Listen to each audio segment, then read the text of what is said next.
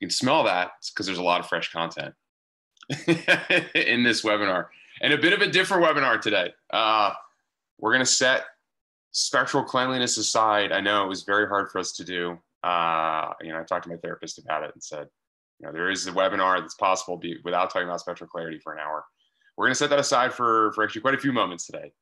Um, and we're going to talk about Dia de los Muertos. You were like, wait, I showed up to the wrong webinar. No, the, today we're going to talk about tandem dyes and traditional dye variability and why that's had its day. And then we'll also come up with, with some useful checklists, I think, to, to frame, you know, I, honestly, items that have been pushed onto us as researchers that we should really say, hey, look, uh, vendor, are you doing this kind of testing? And so, so hopefully some useful tools in there as well. And then I'll use that as a bar to measure some of the things that we're doing because honestly, as scientists, we've also kind of had enough of some of this stuff. And so, uh, so, um, so I'm looking forward to going through those. So the, the three things that I want to lay out ahead of time and do this using data is, is essentially, if you will, peel back the curtain on particularly tandem dyes for, for a moment. And then we'll also talk about traditional dyes. And we'll talk about their stability and variability, talk about consistency and this idea of dye to protein ratio or how we're conjugating fluorophores to antibody and all the impacts of that.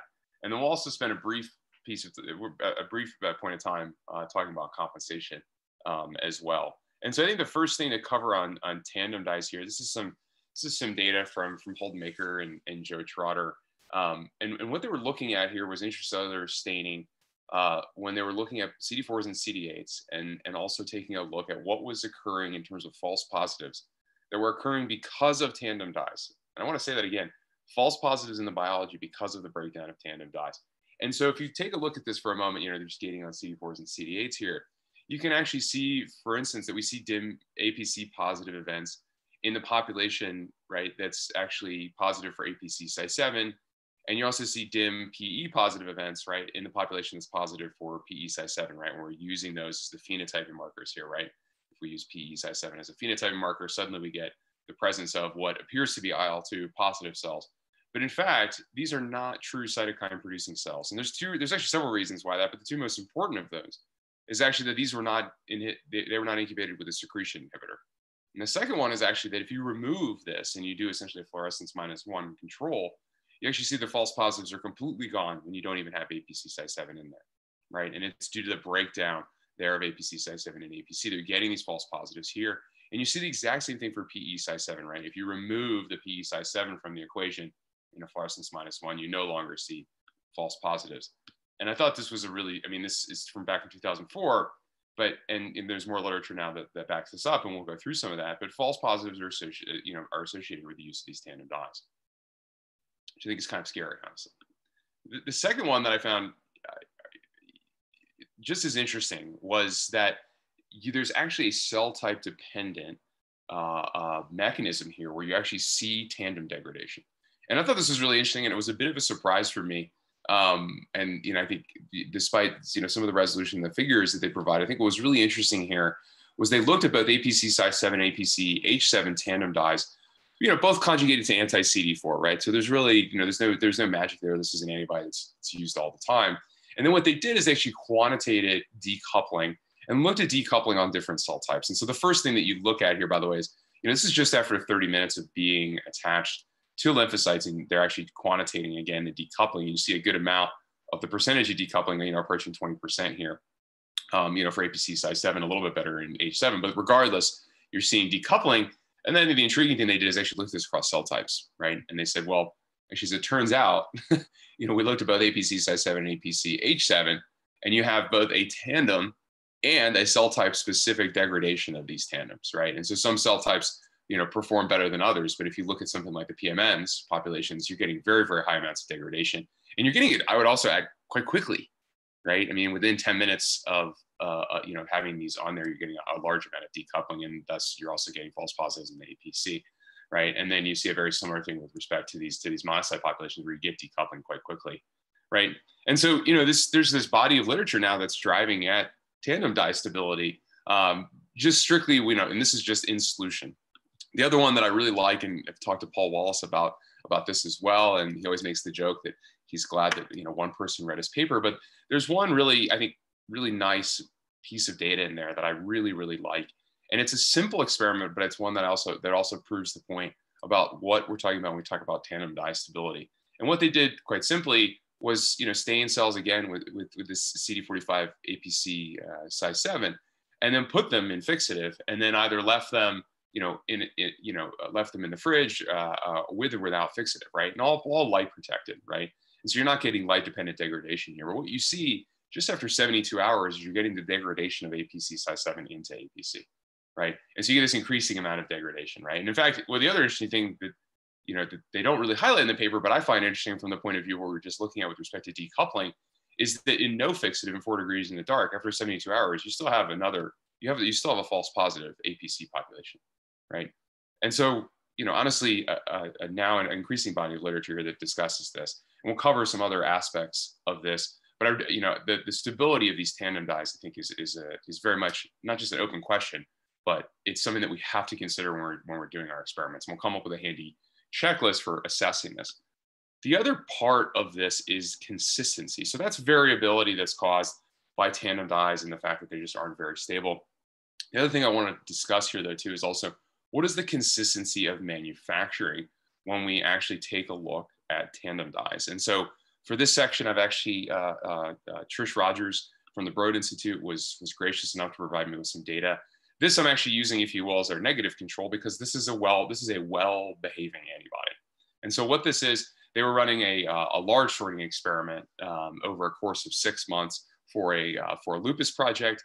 Um, and in this case, what they did is they actually would pull off data over the six months uh, and take a look just at the single stain controls and say, okay, what's the variability that's down, for instance, to the antibodies? And you can see, again, this is a, this is the good example, right? This is PD1 PE, which honestly you wouldn't expect there to be any differences at all. This, you know, three different vials of antibody used from three different lots. And you can see that, you know, regardless even of them having a finer fiber bundle on the instrument replace, a very consistent antibody. And honestly, this is what you should expect because it's just conjugated to PE. Now, let's contrast that for a moment with a tandem dye. Same look in the universe, pulling data off of six months of running this trial.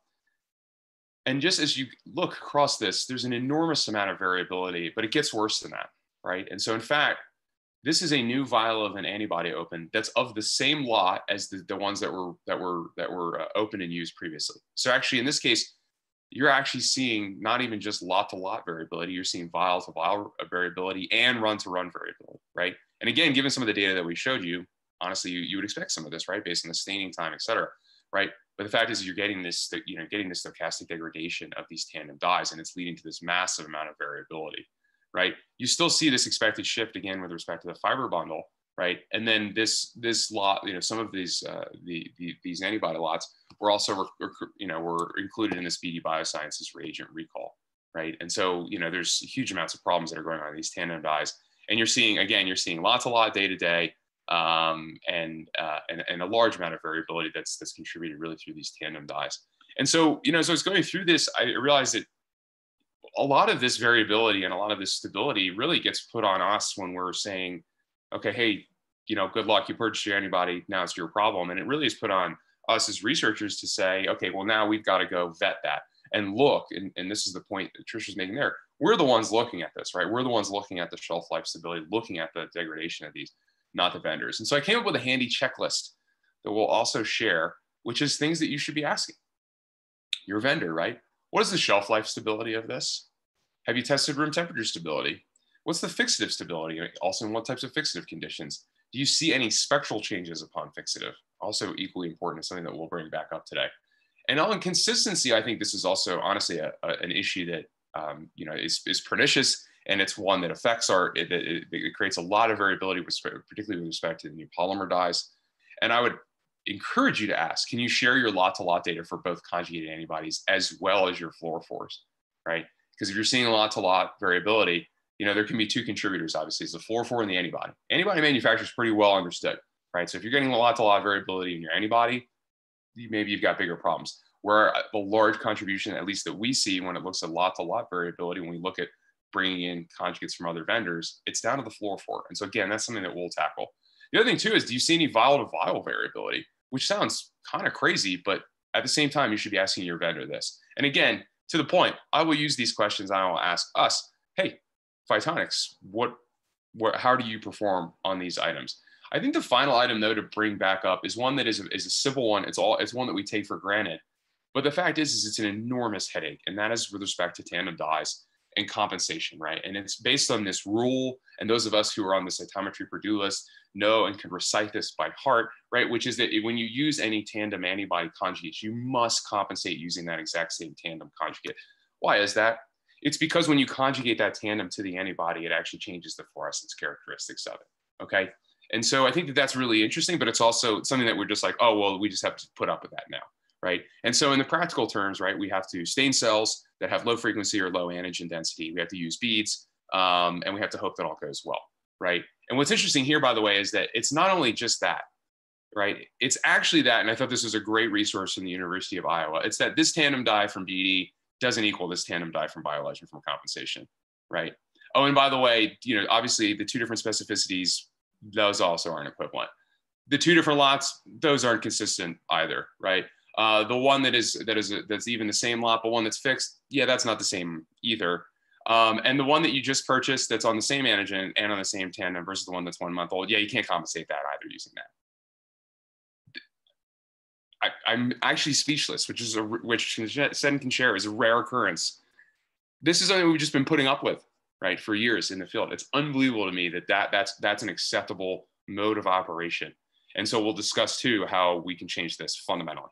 You should be able to compensate, right, any dye that can fret for instance, on CD4 or any antigen that, that you expect. But honestly, if you look at these rules, it shows you what we're talking about with respect to tandem dye stability and tandem dye variability, right? So those are three, I would, I'd argue, quite large issues with respect to, to tandem dyes. But why do we still use them? You know, they're great at one thing. Tandem dyes are really good at fretting, right? Obviously, we were just fretting for a good, you know, 16 minutes about tandem dyes, but now, or a little bit less, sorry, 10 minutes about tandem dyes but they're very good at, at providing fluorescence for energy, energy transfer, right? And giving us access to more wavelengths. And, and you know, with that respect, there really has been I, explosion. I think is probably overstating. And I, you know, I just get excited. Um, you know, there's really been a, a, large expansion in the number of tandem dyes, particularly as, as folks have attempted to step further out into the red or fill in gaps on spectral. And regardless, every tandem dye is going to suffer from all of the problems that I just discussed. And to that point, you know, uh, you know, we've got we've got kids who are all in virtual, and so you know, I figured that they needed a report card, right? And so did Tandem Dyes. So this is my Tandem Dye report card. Okay, and again, we'll use this for the NovaFluors in the moment. Tandem dyes, they break down leading to false positive events. They break down in fixative solution. They exhibit day-to-day, vial to vial, and lot to lot variability. Also, they're paying to compensate. Also, traditional dyes, and this is another important point that we'll bring up, must be conjugated to antibodies at molar excess, which drives cost and can also lead to the presence of free dye in solution, for instance, when you're doing something off of a custom program. And have a Poisson distribution of dyes on a protein. And again, I'll bring it back um, some items to discuss about this, but I want to frame up where we're starting. By the way, we haven't even started talking about cross excitation and spread here. We still haven't mentioned it, right? As I mentioned, I promised that I wasn't going to talk much about it. So to that end, let's juxtapose that for a moment and say, okay, we're fed up with all those issues with respect to tandem stability, tandem consistency, tandem variability, right, and this pain of compensation. So now what do we do with that? So I'm going to talk about stability. I'm going to share some new data on stability testing, both on labels, the labels themselves that we've made, as well as the conjugated antibodies. I will also take a look at spectral stability, which is a question that's come up that we we were able to answer now for both room temperature and fixative stability, because I think it's equally important. That's a question that I think is was honestly a really important one for people to be asking, and, and so we've answered that. We're also gonna we're also gonna call Poisson control. I couldn't resist a pun there. And then we'll also just talk about hassle-free compensation and what you can do with those, right? But the focus will be particularly on stability and variability, and then we'll talk a little bit around what we're doing to control the, the degree of labeling and then what the implications of that might be. You know, we've shown in previous webinars the fact that our the labels are bright and clean, right? That we're we have this uh, spectral hygiene, which I which I've heard uh, someone mention it uh, we'll talk about consistent stable quite a bit, and then we won't have time to talk about digital fluorescence. But just know as I walk through this that because more than 90% of the mass of our each label is DNA, as we'll discuss, that the data that I'm showing, which I'll show you for a number of different labels, really applies to the whole family of these floors. And I think that's what gets really exciting when we think about both the stability and the consistency, but also applications you can go after, right? Are the mandatory Phiton, Phitonex slide. How do we do any of this? Um, so we take uh, small organic dyes, bind them onto oligonucleotides, and then they can assemble and actually they self-assemble into this Phiton structure. And that's what enables us to fine-tune engineering platform, which we can choose both the components and then the geometry in the case that we want these dyes, you know, to fret with one another. And so again, the big distinction here is that while we are leveraging fret, these are clearly not tandems. And so we'll put that, if you will, in the ground in several different ways, right? And that's why I think this juxtaposition with tandem dye stability is so, so important and hopefully gives you some things to both look for in tandem dyes, regardless of your application, as well as things to ask your vendor, because putting that back on us as researchers is frankly not acceptable. Um, and finally, we, this also provides the flexibility that you can conjugate this now to an antibody. So this is, you know, ask us, right? We're a vendor too. I keep saying we. Um, I guess I'm we on both sides of this. But ask us. Let's answer these questions. What is the shelf life stability, room temperature, fixative, spectral, lot to lot data, and vial to variability? Let's answer those questions, right? Let's actually do it with data and let's share all of that openly. And then that way you can go back to other other vendors and say, can you show me what you're doing here? So the first part of this is stability. So the first experiment that I'll show you here, and again, we've got a whole menu of experiments here that I wanted to really show and, and reveal what we've been, been looking at with respect to stability, is the first one is actually two months storage for just the Phiton labels themselves, right? And so this is just, you know, we've made the, the fluorescent labels, uh, they were stored in a fringe, and then two months later, we, we pulled them back out conjugated them to CD4 and then tested them, right? And so the question is, you know, were they were they stable and, and did they perform? And the answer is yes. So they they emit uh, across the blue exactly as we would expect. You can actually see we've got a little bit of background in this Nova Blue 530. These are stained without without any kind of without any blocking solution in there. But otherwise, you know, we're, we're you know, the, the, the lack of background across Nova Blue 610 and 660 looks quite good, and we're getting exactly the fluorescence, honestly, that we would that we would uh, uh, expect off of the blue and off of the yellow, right? So the labels themselves are are are stable in a fridge for at least at least two months. Obviously, as you can tell in all of these, of course, we're intending to test out longer or, or currently have that in process. Across all three of the Nova yellows, you see, you know, very, very low background. You're not getting an increase in background when you're just leaving the leaving the labels in there and performing conjugation at a later date. Um, and they're performing spectrally exactly as, as we would expect. So the, the labels themselves are, are quite stable. And honestly, you would expect this because you know the DNA structure is very very rigid, right? And it's also quite hydrophobic. So in fact, it's just keeping it in solution. I'd say too the other other point that I think we're taking for granted here is that the labels were left right um, in in that solution for two months, and we don't see we don't see aggregates, right? In fact, we've never have seen aggregates when we're performing these kind of testing. We're doing large larger stainings or performing you know master mix testing. The second experiment here was okay. What about two weeks of room temperature just for the Phiton label itself, right? And so again, this is actually pushing the label itself. We, we, you know, we previously shared some data, which I'll expand on today, about conjugating antibodies, but can you just leave the, the label itself, you know, out on a bench? And so we tested this and and pulled off aliquots at, at day seven and day 14. And again, just looking at the label itself. And you can see that, in fact, there's actually no change anywhere in the spectrum for the label itself for at least out to two weeks. Again, we need to test a little bit longer, but I think it just it goes to show that you know that that label you know due to its structural stability is just incredibly clean. The next experiment here is one that I want to expand on. It's one that I've shown before, but I wanted to take a look to address some questions around spectral stability.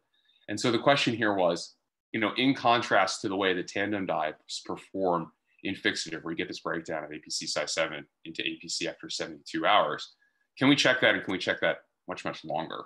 um, right? So we actually test, tested this um, after after two weeks, right? And they again, the, the setup of this experiment is that cells were left into this 2% paraformaldehyde solution for two weeks. They weren't fixed and then resuspended in PBS. And so the data that I've shown before, and again, we're looking here at Phiton uh, antibody conjugates. The data that I've shown before is yes, we have the ability to stay in CD3 cells, so gold star um, in PBMCs. But the more important experiment here is that uh, if you look at fresh compared to two week fix, that there's no difference in the fluorescence, right? So you can literally leave these in fluorescence. And the question that kept coming up that we finally answered is, well, what does it look like spectrally? Does are there any changes when you look at this across across the spectrum?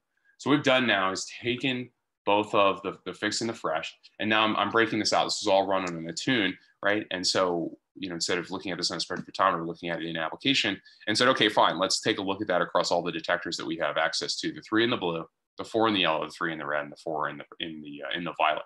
And in fact, what you see is well, what you're not seeing, right?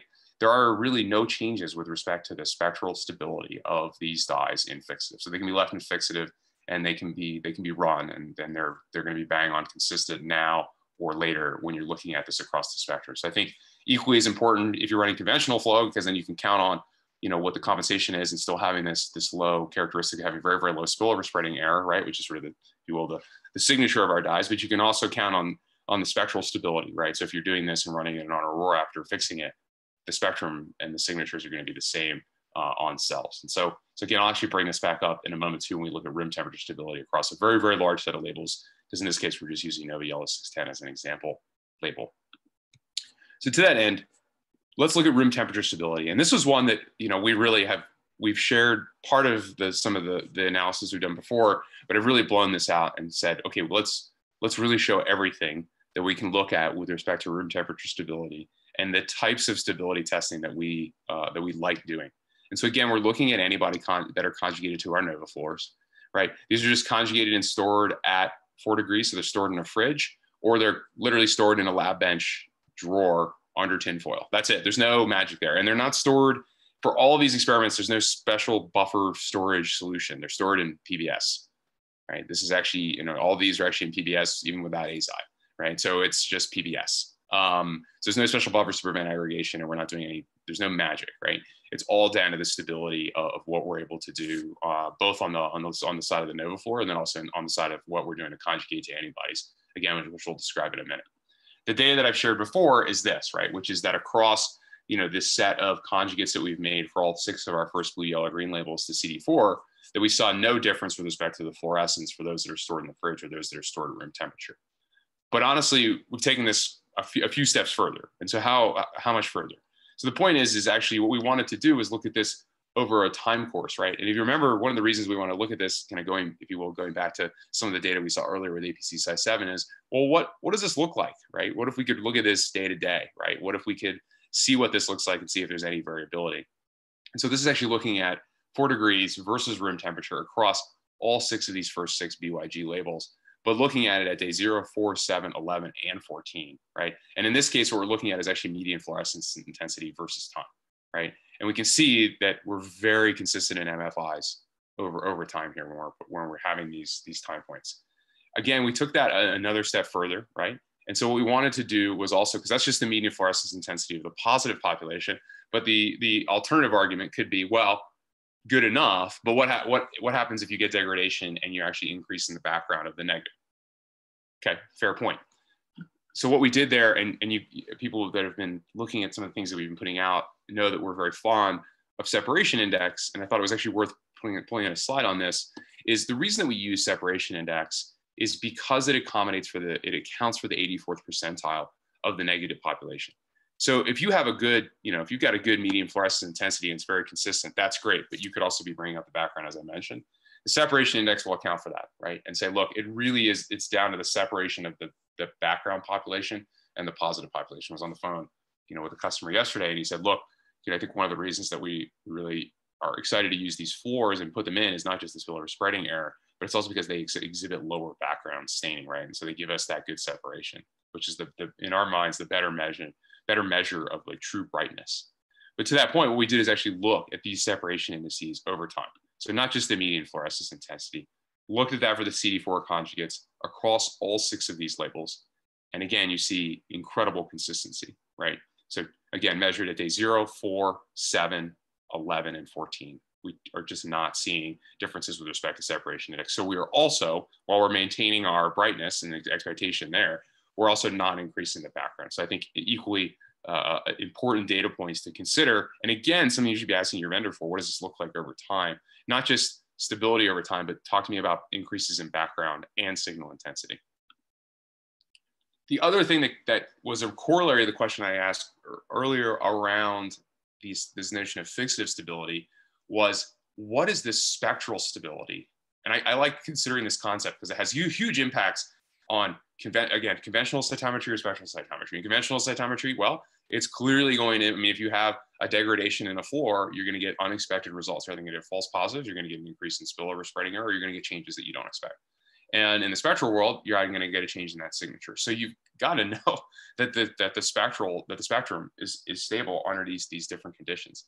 So again, comparing four degrees in room temperature, and I'll actually take you through all six of these colors actually and show you the spectral stability for these. And again, just in this case, comparing day zero and day 14, if you will, the bookends of, of this experiment.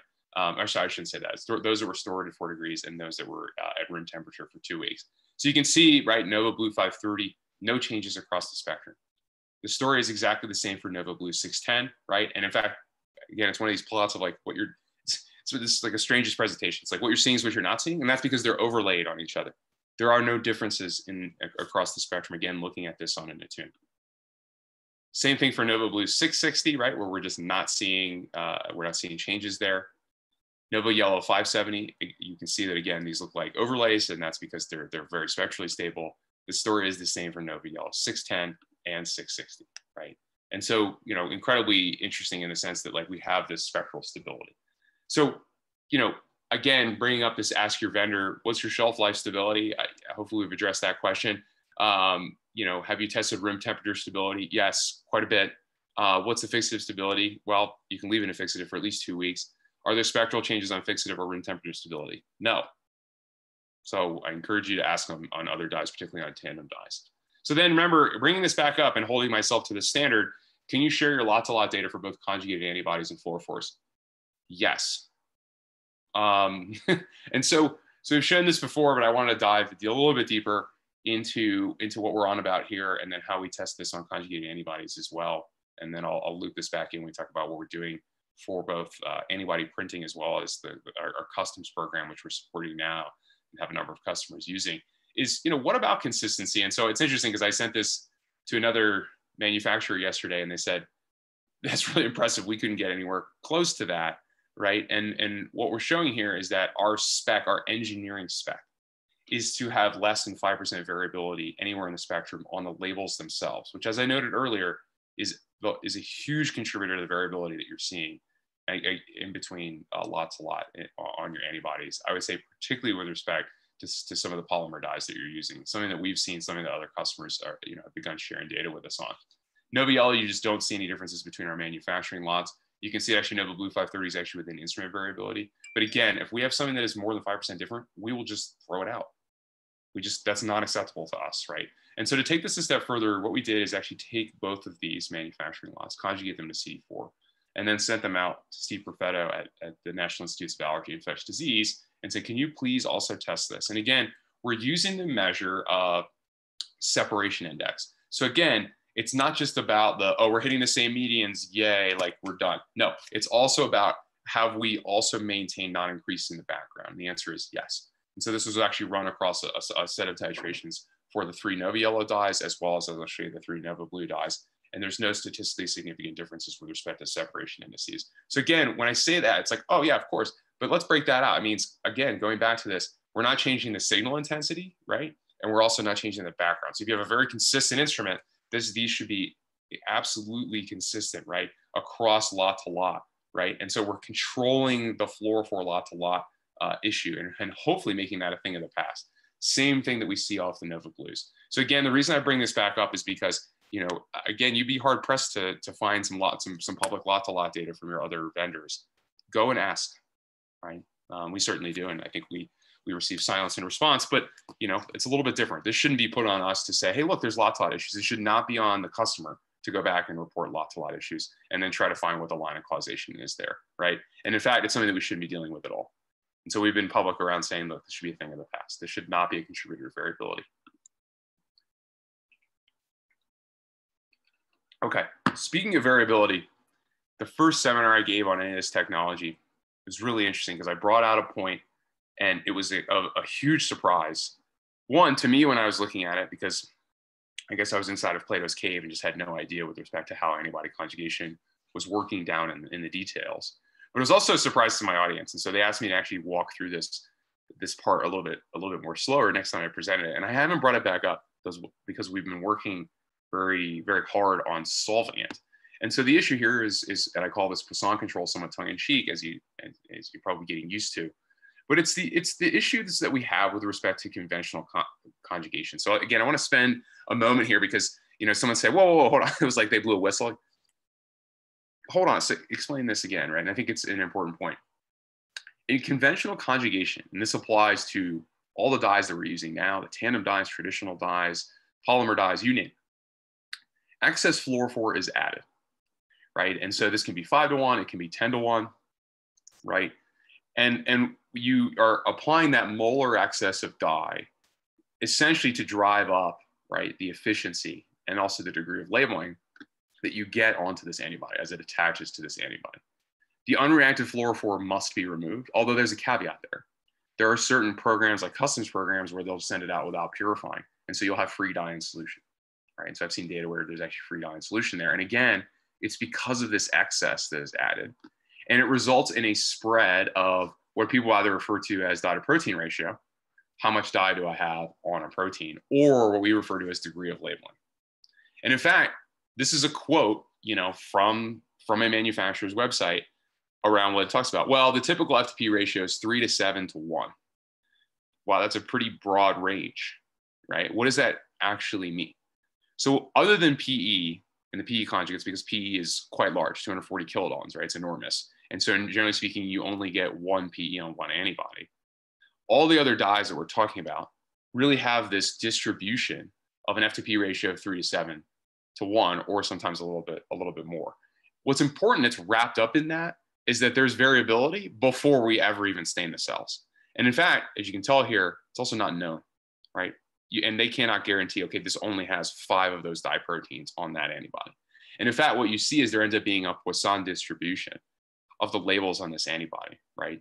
And in fact, the other piece of this is that because that's not well controlled, obviously this can be quite a large distribution, right? Three to seven is, an, is a very large distribution. And frankly, that affects the brightness, right? So if you think about three versus seven, when you have any kind of the any any kind of dye, that's a large window of, of variability. And again, that's variability that you have before you ever get on to the instrument.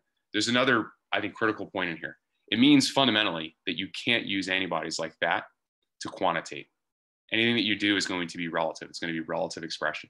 You can't say it has this number of receptors because you have this kind of variability with respect to the number of dyes that you're measuring.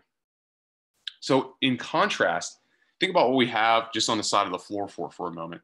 We have a known number of dyes and a known brightness on that Phiton structure, right?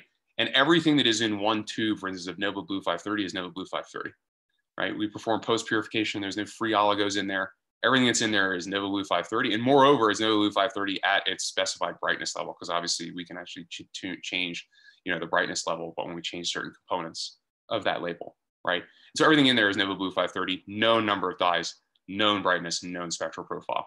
And so one of the things that we were aiming for and now have accomplished is can we do one-to-one conjugation on this antibody? Can we get one Phiton with a known amount of dye onto one antibody, move away from this Poisson distribution, and really tackle a large number of problems all at once, right? Which is one, the presence of free dye and excess dye, the fact that you really don't have to remove excess fluorophore, that you don't have a spread in the degree of labeling, and thus you could use them for quantitation. And so the contrast here would be, you know, you go from a Poisson distribution to a really highly controlled number of labels or dyes, right? And so you, in many ways, right, I mean, you, you know, you're to have, the goal here would be to take that distribution that's Poisson and make it essentially, you know, in a, in a, in a perfect world, it would be all be one-to-one that was in that too, right? And so that's actually what we're doing. And again, it's something the technology that I'll bring back up in a moment when we discuss antibody printing. But this is what we're leveraging now actually for all of our conjugated antibodies. And it also gives us the ability now to essentially take any color on any of the conjugates that we offer or conjugates that we can get access to and essentially print them out on a new color, but do it in this way that is one-to-one. Hassle-free compensation. This is actually one that honestly doesn't require much in the way of, of data or discussion, luckily, because because of the, the structure of the Phiton, they're actually incredibly easy to compensate because they do not change upon conjugation to an antibody. That's it. So you can compensate them on CD4 or CD8 or any other marker that you want to for a given color, and they're going to compensate for the rare cell marker or the dim cell marker. That's it. and we're doing that all the time. We compensate on CD4 across all the different things that we've shown in our 40 color experiments and, and what we're working on now 45 colors. So it's pretty simple, actually. So again, contrasting to, to tandem dyes, NovaFluors, well, they don't break down. There's a rigid DNA backbone. They're spectrally and chemically stable at room temperature and fixative. We just need to test out just how long that is. There's less, less than 5% variability on the lot to lot by design. They're easy to compensate because it's just trivial. By, I mean, it's a by definition issue. No molar excess of dye is needed. You get a precise degree of labeling. And I'll show you again what we're doing when, now that we've got this ability to do one-to-one labeling. And again, to the point, we've actually leveraged this compensation ability when we've run our experiments. We can compensate on CD4 and use them on chemokine receptors or other rare cell markers or variable cell markers, right? It's not, this isn't an issue, right? Um, and leveraging the spectral clarity, we're able to do this and do it very faithfully. You know, to the point, uh, this, this slide's actually a, a, a what, a, a 32 hours out of date now set in, but I think it shows, you know, that you are able to do these experiments, but you're not having to worry about compensation controls as an issue. You're not have to worry about, you know, tandem dye stability in the case that we're going in and replacing, you know, these labels and we're leveraging the spectral clarity to get it done. But of course, as you can imagine, as you look across, you know, this panel, we still have some work to do, right? And the work to do is to replace these, these tandem dyes. Um, you know, uh, certainly, you know, particularly out further into the red across these lasers, right? Remove those tandem dyes, remove that tandem dye variability, right? And then obviously go after as well the violet and the UV laser. You know, another point here too, actually just about tandem dyes while we're on it, is uh, some of them are incredibly sticky, right? And so our dyes exhibit some of the stickiness as well. I think it's actually the only thing that some of our dyes share with tandem dyes is some of the stickiness that you observe on monocytes. And so we've created a blocking solution to be able to, to handle that. But to the point, it actually handles the stickiness that you see with the Cy-based tandems as well. And so I thought it was useful to share that. You know, this is something that we add before staining. Um, we've actually, again, characterized this actually across all of the, the Cy-based tandems here, right? And in this case, we're looking at is orange is no block, blue is the Phitonex Nova block, and then yeah, uh, red is the spilage and true stain, you know, monocyte blocker. And what we see is that we can limit the background, right? That we see specifically in, you know, these, these, these leukocyte populations that we think is contributed most from monocytes binding onto these dyes. But we're able to limit that for all of these Cy-based tandems using our blocking solution as well. So if you must use tandems, and you know, honestly, at this point, we're having to use some as well, it is what it is.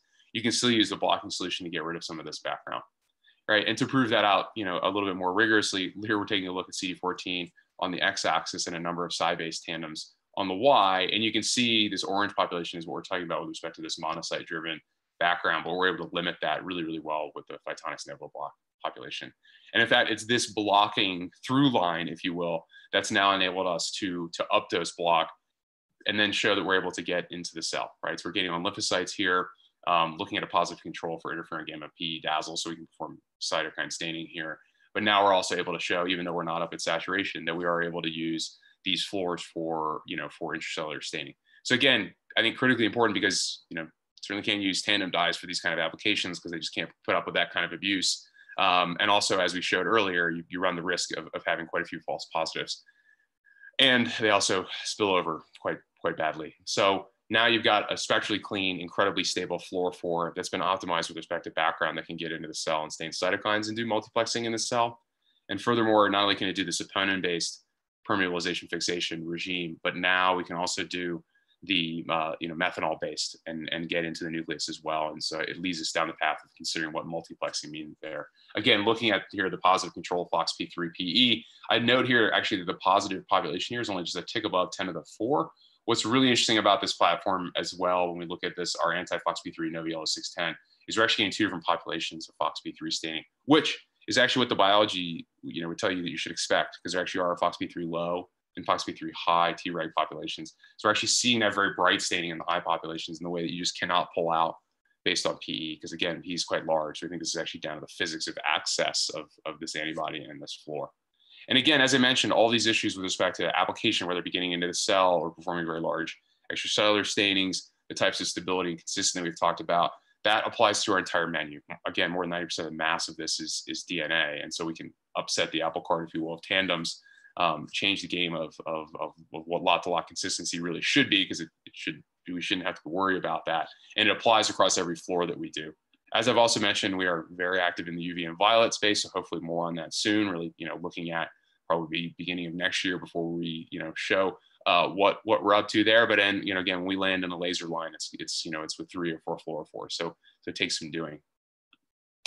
The one-to-one labeling now has not only been you know essentially we, we, we've shown that we can get one-to-one labeling right and they're actually generating a data packet for, for that now but furthermore we've actually deployed this for all the conjugated antibodies that we offer now so we have a set of recommended colors across the clones that we have um, but also we've got the ability because we store these clones um, that are polynucleotide modified we actually have the ability to print any color that we have that's in stock on any of these in stock antibodies right and so we can actually order that up and essentially do that within a matter of days. Also, what's really interesting about this, and it's enabled us to deploy a, a very fast customs program, is we as long as we can get access to an antibody, we can actually put them into this printing regime, right? And then be able to print those out and be able to do that on a one-to-one basis. So again, you have actually the opportunity to have quantitative flow cytometry on those antigens, right? And do it in this printing modality and do it quite quickly. So that, you know, hopefully I've, I've talked a little bit about stability and, and, answered some more questions around spectral stability. I think in particular is something that is, is very new, D- dove a little bit deeper into the room temperature stability. Talked a little bit about Poisson control um, and, and how we're dealing with that, at least from the point of view of manufacturing, and then hassle-free compensation. So, so with that a uh, hopefully concise but a little bit different, uh, uh, different webinar, different take on, on what we should be doing, and uh, and and we'll definitely be uh, posting up the checklist of things to ask your vendor. So, so with that said, and I'm happy to discuss, take any questions. Maybe send you know, Sen might also have several questions here because some of this was new to her. Yeah, that's great. Um, yeah, I, I, know that um, we've got continuing to build out this, you know, stability data. So that'll be exciting for Mike to be able to